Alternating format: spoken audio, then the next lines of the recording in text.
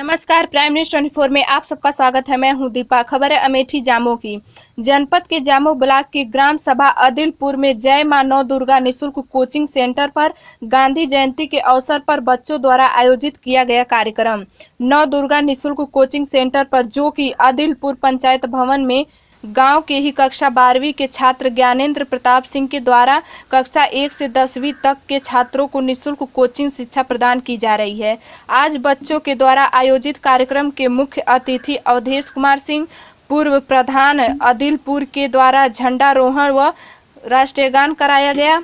युक्त अवसर पर डॉक्टर रोहित सिंह, अभय प्रताप सिंह, स्वतंत्र प्रताप सिंह, अभिनव सिंह विजेंद्र प्रताप सिंह, सूरज अभय, फूलचंद सुमित साजन, गीता सिंह, सीता सिंह, रूबी सिंह, क्षमा सिंह, निधि सिंह, अनीता सिंह, सरिता सिंह, गरिमा सिंह आदि के द्वारा राष्ट्रपिता महात्मा गांधी जी की प्रतिमा पर पुष्प अर्पित कर श्रद्धांजलि अर्पित की गई, जिसमें सैकड़ों लोग मौजूद रहे। मध्यांचल ब्यूरो राम प्रसाद शुक्ला के साथ अमेठी से ओम प्रकाश सिंह की रिपोर्ट।